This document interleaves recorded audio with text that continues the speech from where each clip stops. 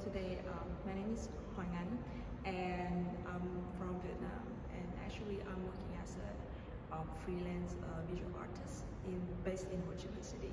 And um, I was uh, I mean I am currently traveling with my friends to Chiang Mai.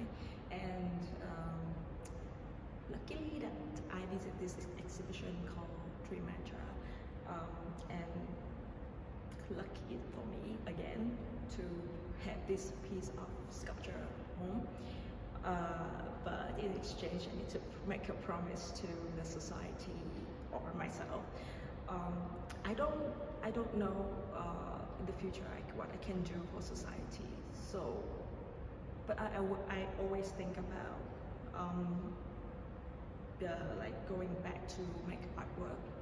Uh, since like two years ago since I first like graduated from and I think I hope that in five years in the future I can really um, start making arts again for myself and start building a space for independent artists in Ho City.